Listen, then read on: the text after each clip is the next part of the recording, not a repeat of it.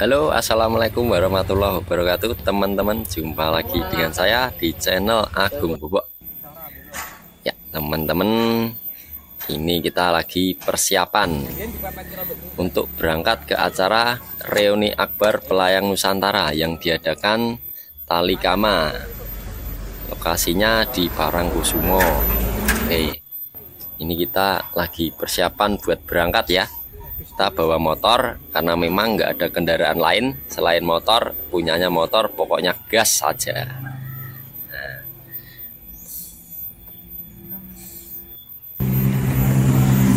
Jadi ini bawa saya bawa janggan ya teman-teman.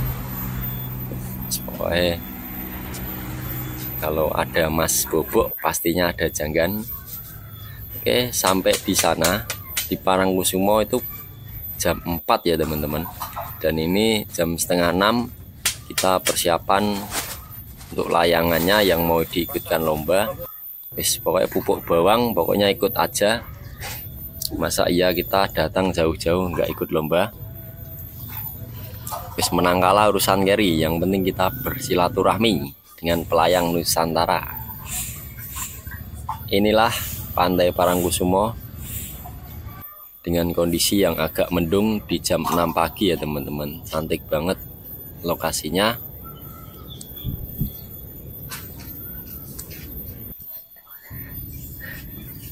Nah ini pokoknya kita benar-benar ala kadarnya ya teman-teman.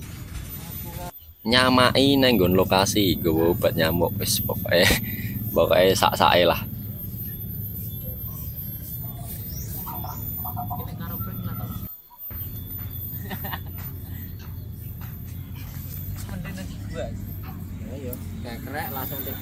pokoknya kita kalau ada undangan di mana pun berada kita insya Allah siap meramaikan ya. Ya walaupun kita krunya nggak terlalu banyak insya Allah pokoknya gas terus.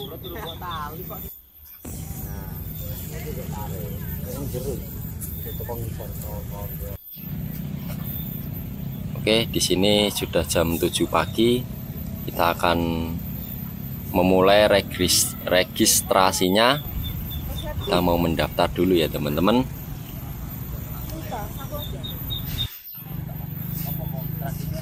Tradisional.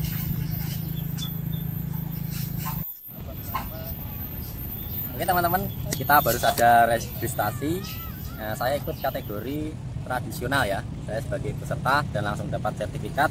Serta ini nomor undian tiket doorpass dan ini dapat lagi stiker ya stiker nah, tak, tak buka ini di dalamnya ada tiga kertas ya pertama nomor peserta untuk yang saya pakai. Kemudian ini nomor peserta untuk yang ditempel di layangan. Dan ini dapat stiker cantik teman-teman yang bertuliskan tali kama reuni akbar pelayang nusantara sama yang bawah tali kama perkumpulan pegiat layang-layang nusantara. Oke kita saksikan bagaimana keseruan lombanya. Panitianya di atas itu mas, di atas podiumnya beserta para undangan. Waduh, asam-asam yang rapi, yang rapi. Ya, tiga. Eh, se, se, se, se, jangan dulu. Tiga, dua, satu. Cheers. Belum, belum, belum, belum, belum. Ulangi. Tiga, dua, satu.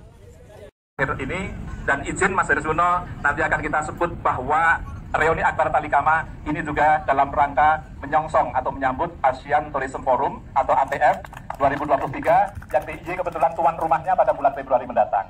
Ini menyambut berarti sangat luar biasa. Terima kasih Pak dan Ramil secara langsung. Halo, Assalamualaikum warahmatullahi wabarakatuh. Kembali lagi dengan saya di channel yang hadirin yang tidak saya sebutkan. BTW, saya nggak pakai sendal panas banget di pasir. Nah, ini teman-teman kita berada di reuni akbar Kopdar yang diadakan oleh Talikama ya. ya. Ini yang pesertanya senusantara. Kita akan nyimak untuk peserta dari kategori tradisional ya yang tradisional untuk layangan naga akan saya bikin video yang terpisah karena terlalu panjang ya dan terlalu menarik untuk dijadikan satu oke kita akan simak satu-satu video layangannya dapat berjalan dengan lancar. Ya, oke, teman-teman. Ini dia peserta untuk layangan kategori tradisional. Ini super, ya. Jangan lihat dari Allah. Amin. Bentuknya, bentuknya ya pegon, pegon bahwa Tapi lihat ukuran sendarenya ini. Nah, ini. Allah akan terus Ini yang event internasional. Nggak tahu layangnya siapa ya? Tapi ini sendarenya empat kali lipat atau tiga kali lipat panjang dari layangan. Di samping Bantul Berikutnya. dalam rangka menuju pariwisata internasional 2025, kita Layangan event-event ceper. internasional. Motif Termasuk di dalam rangka untuk pengembangan ekonomi kreatif. ini enggak kain. Oh, siang atau sore Nah, ini kami harus solderan. ke Kemenparekraf bersama Mas Menteri dalam rangka Teman-teman bisa untuk lihat detailnya. Uh, weekly with uh, weekly Dan talinya with juga Sandiaga Uno. dibikin seperti ini ini, dalam teman-teman. rangka launching Bantul cantik banget kota Ini kreatif dunia craft and folk art. Tentangannya sekitar akan 5 meter ya, teman-teman. Layangannya apa? 2,5 meter kalau nggak salah. Kita ini lihat adalah bagian terbangnya. dari ekonomi kreatif. Sehingga Bantul akan Ini menguatkan ini layangan. di jajaran UCCN, UNESCO, uh, Polygon untuk ceper lagi. kota kreatif dunia. Motifnya penari. Jadi UNESCO Jaranan sama apa ini? Creative tahu. City Network ini adalah juga- diharapkan nanti Bantul lebih terkenal mendunia sehingga untuk ke depan Teman-teman bisa pengunjung lihat wisatawan di dekat. ini Ini ada di plastik Bantul bukan hanya lokal tetapi internasional Ini yang kita harapkan.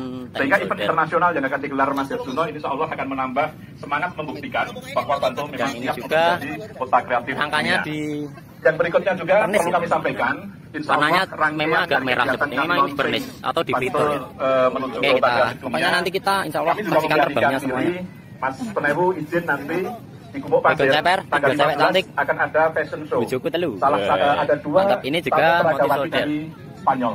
Solder. Jadi kita sudah Rapi banget. Pokoknya harapan di sini, ini sudah sekelas event nasional ya, event juga walaupun tradisional mulai main-main. Kemarin dengan teman-teman Ini Mas Herjuno ondel-ondel. juga mulai ada Nggak tahu layangan survei. apa dan layangannya siapa, jadi bentuknya seperti ini, teman-teman. Yang tahu ini layangan apa, teman-teman bisa komen. diuji cobakan termasuk di tempat ini ternyata untuk cat surfing itu memungkinkan internasional. Dan ini layangan bermotif tidak, eh, tidak mubadir ketika kita endolan. Garuda. Mudah-mudahan Dan di atas ada deretan presiden yang pernah menjabat di internasional Indonesia. dan ujungnya Lengkap. adalah pada kesejahteraan Teknik sama. ini yang kita harapkan. Ini pakai Oleh karenanya mudah-mudahan kita semua senantiasa diberikan kemudahan dalam rangka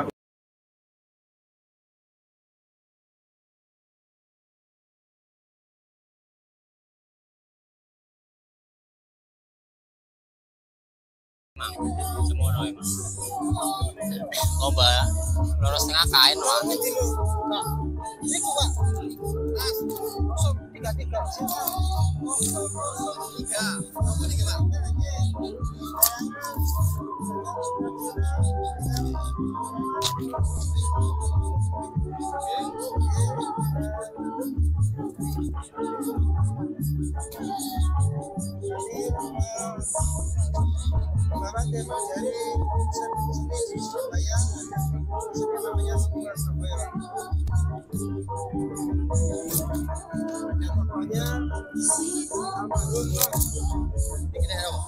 Gini gue loh. Oke, nah, layangan Bali.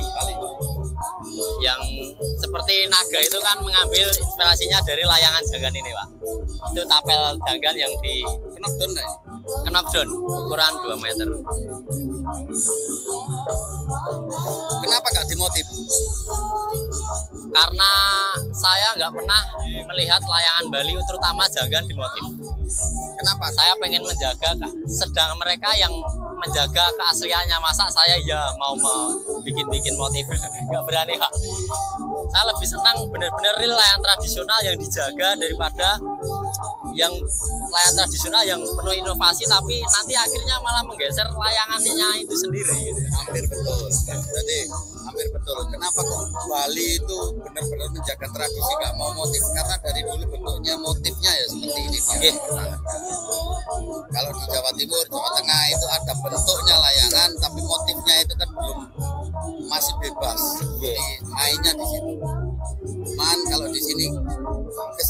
kestabilan udara ataupun apa karena ada ekornya nanti ada pengurangan nilai antara layangan yang ada ekornya sama ndak itu. Oh iya, siap. Oke. Jadi katakanlah gue sampean mangko wenceng ini, gue nilaiannya anak menggo titik. Iki nilai ini anak api menggo titik iki daripada gue sampean meskipun gue sampean kenceng karena sampean dibantu ekor stabilisasi. Hmm. Tapi berarti penilaiannya itu disamaratakan, nggak nggak sesuai eh, karakteristik layangan masing-masing gitu. Iya, kalau jagen kan kalau ada nggak ada ekornya kan ada. Yang yang nggak ada ekornya layangan jangan buntut kuil. Iya. Nah, ada. Nah, itu kan juga masuk tradisional. Iya. Ini kan kategori tradisional. Jadi Iya. sampean bebas untuk memilih kategori Iya, mana. siap. Ayo. Iya. Jadi juri akan tahu, oh ini ada ekornya, makanya bisa stabil. Hmm. Katakanlah, oh ini backbone, backbone kanan kiri, harusnya dia belok ke sini. Kok anteng berarti bawahnya ini ada besinya. Oh, Kita gitu. cari. Iya. Pasti ada stabilisernya. Betul. Sih untuk mempertahankan tradisi. Ini knockdown ya? Iya, iya. Kena down. 008 kan? 008 enggak ada ya? Iya. 13 14 iki mungkin. Nanti terbangnya tradisional dulu. Iya. Oh yes. Apik.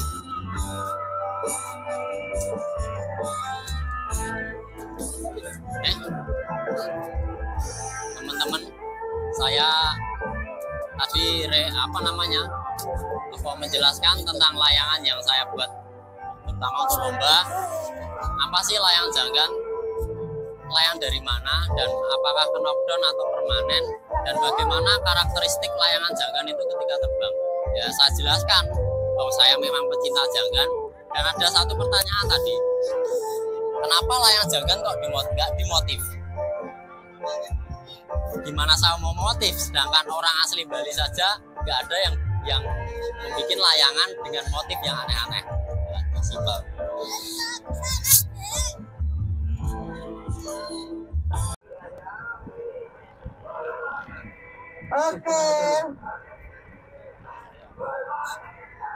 tradisional 001 nama Didi Gontoro nama layangan budaya Betawi Warga Asal Kedua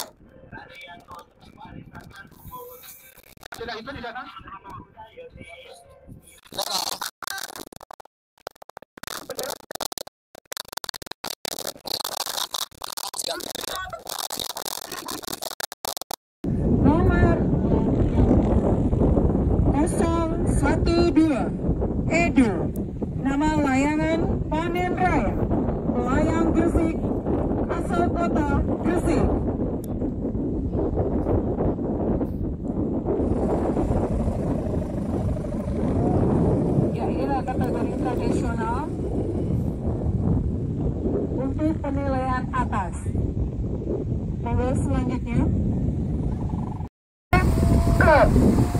Brian.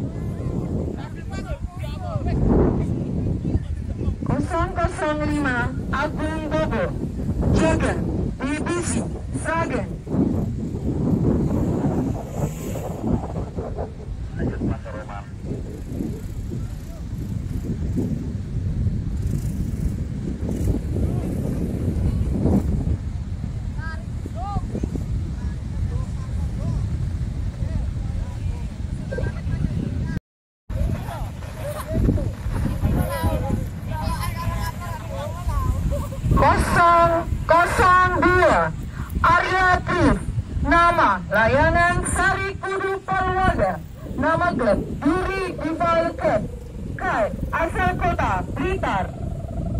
Kosong kosong dua Arya Tris nama layanan Sari Kudu Palwaga nama klub Duri Dival Club asal kota Blitar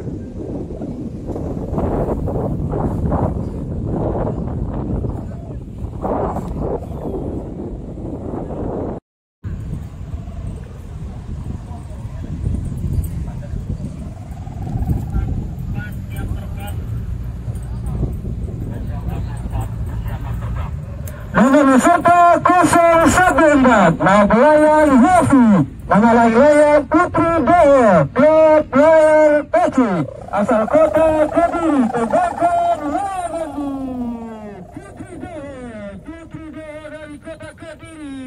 Ya Indah sekali Sangat-sangat indah Menghiasi awan-awan di langit 013 Kris. Nama layangan Tari Serimpi. Nama klub Duri Divalkai. Asal kota Blitar. Terbagam Lalu. Tari Serimpi dari kota Blitar. Divalkai. Divalkai. Layang Wiri Budaya. Klub Layang Gresik. Kota Gresik terbakar Lalu. Layang dari Gresik. Trans Telepon Gresik. Layang-layang Wiri Budaya Jawi dari Kota Gresik.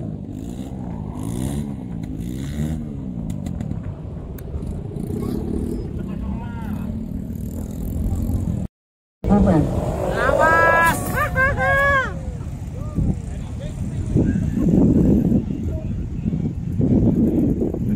Nusantara Nama Yayan Garuda Nusantara Klub Walet Kait asal Kebumen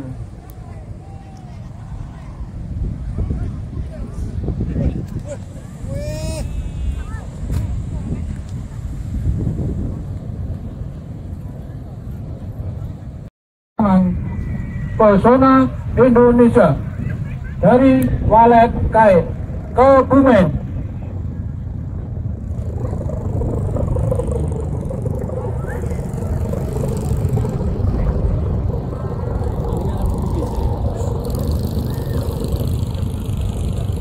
yaitu pemenang kategori tradisional.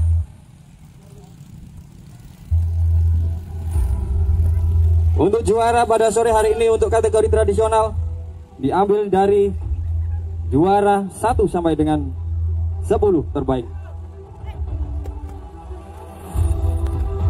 Ya, mari kita dengarkan dan kita saksikan para juara-juara tradisional pada sore hari ini.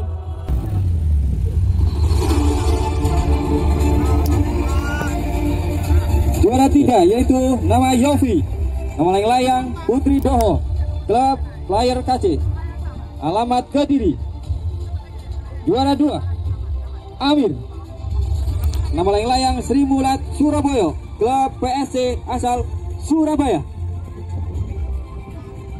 Dan juara yang pertama, juara satu diraih nama Edu, nama layang-layang Panen Raya, klub Layang Gresik, alamat Gresik.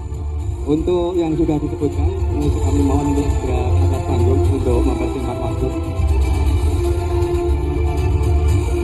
Ayo dipercepat untuk segera ke atas panggung.